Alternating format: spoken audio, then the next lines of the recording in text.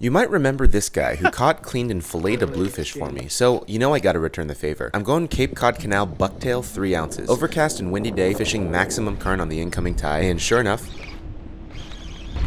The bluefish?